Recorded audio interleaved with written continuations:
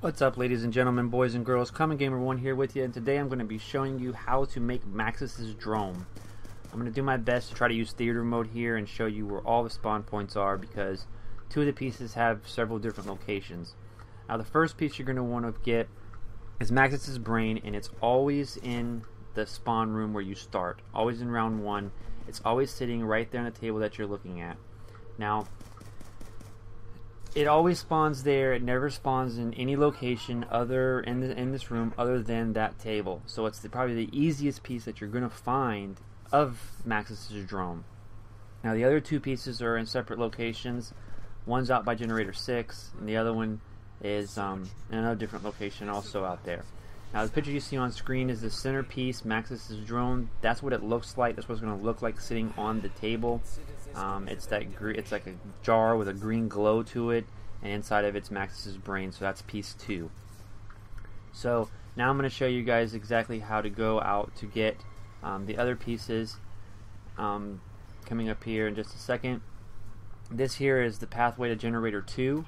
Now this is just a path that I take um, it's just the quickest and easiest way to get out to no man's land, um, to get over to generator 6, and to get the other pieces um, to Maxis's drone. This is just the path I take, and I'm showing you guys. If you guys don't know where Juggernaut, if you guys are just now starting to play it, then um, you just will tell you how to get to Juggernaut also. For all you PS3 users, um, this will also kind of give you a head start of showing you which way you know Juggernaut is when you guys start playing the map. So once you make your way out to No Man's Land, you're going to want to head over to Generator 6. One of the ways that I take is just this is the way towards Juggernaut. It's probably not the fastest way, but it's the way I like taking simply because I can run by here real quick, grab, activate the generator, grab Juggernaut right there, and uh, continue on my path. So you're going to make your way down and travel through some mud and things to that extent. Um, and work your way over here to the church is what I like to call it. Now, it's pretty easy. You're going to need to buy a door right there and then head through and down into the church. Now, Maxis's drone piece, one of them can be along this path that you see us traveling right through here.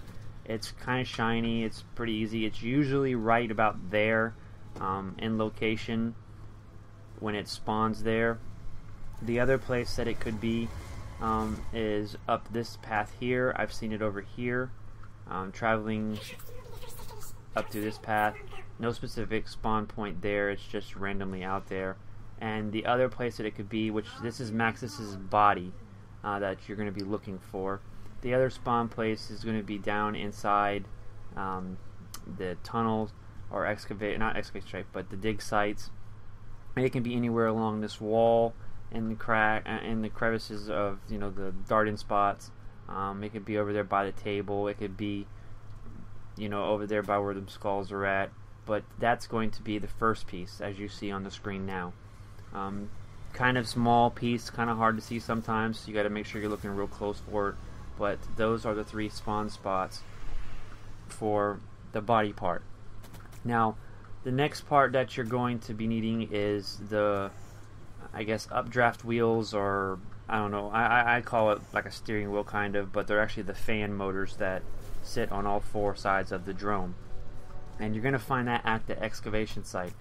Now, there is three different locations at the excavation site that you can actually um, find the piece. And I'm going to show you that here in just a minute. Now, once you buy the um, the gateway to the excavation site. If you go in this way and you take your dart straight to um, the left, usually it's going to be in that corner right there. But it could spawn in any of these corner sections throughout the excavation site. If it's not up there, then you're going to want to go down. Now there's two spawn spots here in the excavation site down below. Okay, one it could be by this table or speaker system, I guess, right there, right next to it. Generally, right there on the floor. It also could be over anywhere along that box or before you make the gateway down to the floor, it could actually be next to the crate that's sitting there. If it's not in those three spots, there's one more spot that it could possibly be, and it's further down here, and it's going to be on one of the bridge walkways.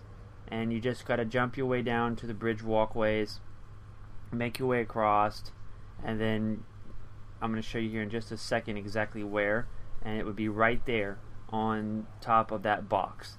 So that's where all the spawn spots are for the fan blade rotary blades that uh, you have for Maxis's drone.